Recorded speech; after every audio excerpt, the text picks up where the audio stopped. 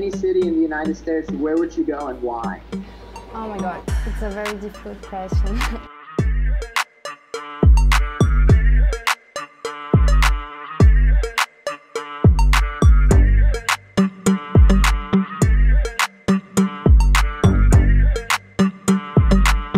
Virtual exchange is uh, really, I think, has become kind of an umbrella term um, for several different models of um, connecting students using technology. What virtual exchange does is it gives students, all of these students, so who who can't go or can't go where they'd like to go, the opportunity to get to know their peers in those countries and to really um, have an international and an intercultural experience, um, even though they're not physically moving, going to another country. In the past, we always assumed that students who would go uh, for study abroad, either, uh, and in particular for the short term study abroad, so a semester or a year or even shorter, uh, that they would have a much better perspective in their work situation than if they would not be mobile.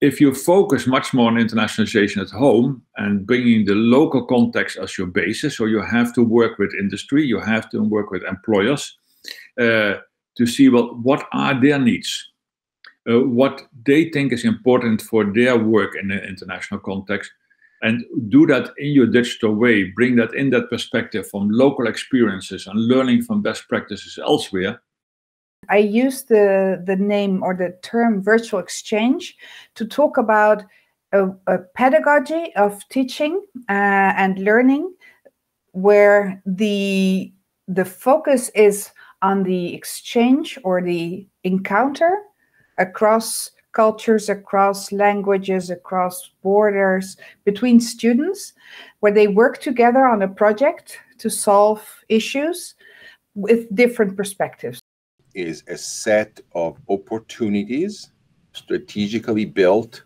across the curriculum for students and professors to engage with the world in a very broad sense. This could be on a systemic way, uh, dealing with systemic global issues like climate change, uh, uh, the impact on the environment, or more localized, more granular issues as differences in culture, differences in language, differences in worldviews.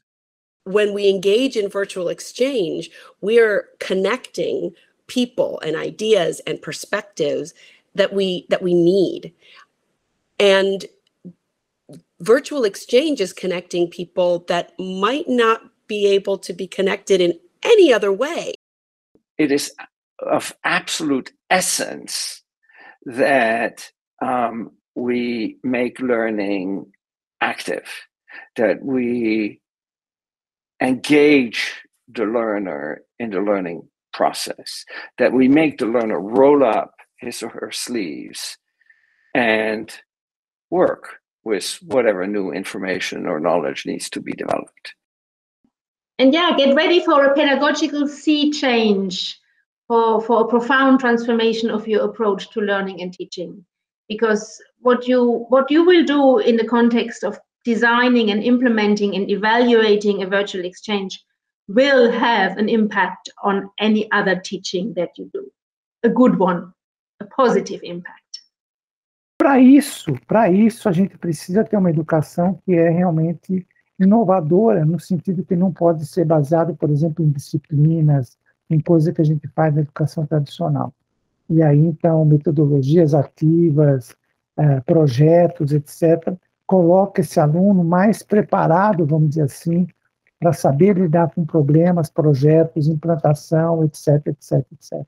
Então, hoje, quando a gente fala em metodologias ativas, nós estamos falando de metodologias, inclusive, que combinam, vamos dizer assim, atividades presenciais e atividades à distância, essa é uma das peculiaridades assim muito importantes, né, desse novo desse novo momento global que a gente vive e que não é mais possível educar as pessoas entregando para as pessoas apenas conhecimento.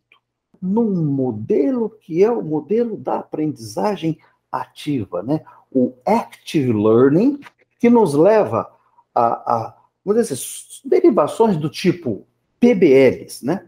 Problem Based Learning, aprendizagem baseada em problema, Project Based Learning, aprendizagem baseada em projeto, Practice Based Learning, aprendizagem baseada na prática, People Based Learning, aprendizagem baseada nas pessoas. Então, aqui no Brasil a gente tem chamado, né? Lá fora, né? O pessoal chama isso de soft skills. Aqui no Brasil, nós temos chamado isso de aprendizagem transversal. Esse intercâmbio né, internacional, eu vejo assim: primeiro, que a gente trabalhar com metodologias ativas e por projetos, nós temos a, a grande facilidade, nesse caso, de trazer problemas reais para dentro da sala de aula, no sentido de que o aluno não está resolvendo um problema abstrato um problema mais concreto da realidade. After we started coiling, doing virtual exchange at FIU, I was very focused on the process itself and the benefits of engaging in virtual exchange and, and COIL in terms of learning, global learning specifically, and three specific learning outcomes. First, gaining a greater global awareness, a, a, a, better understanding of the world's complexity and interrelatedness. Second, a global perspective, the ability to engage and connect and synthesize different perspectives for a more complex and nuanced understanding of the world. And then finally, global engagement, more of an interest in working with different people. I think that's really encouraging. And we're seeing like a whole generation of academics all around the world that don't just know about COIL, but they feel empowered to develop it. And I think it changes how they look at teaching. So not just the COIL project, but they look at their entire curriculum and their way of teaching. By making it more collaborative, by making it more team-based, I think we better prepare our students for um, for for the workplace.